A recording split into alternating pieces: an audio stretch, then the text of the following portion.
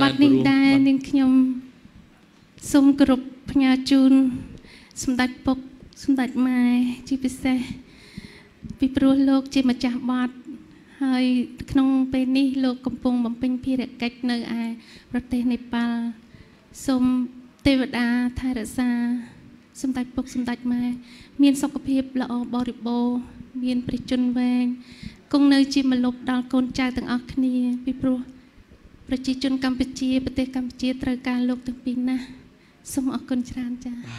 អរគុណណាស់ដល់កម្ពុជាតារាចម្រៀងចា៎គឺអ្នកបងមេឃពេជ្រចន្ទាសូមអរគុណពីរោះណាស់ចា៎បងប្អូនប្រិយមិត្តយើងខមមិនមកសរសើរគ្រប់គ្នាទាំងអស់ Fan-fan អែមគាំទ្រពីរោះច្រើនត្រជាក់ណាស់ចិត្តតែហ្មង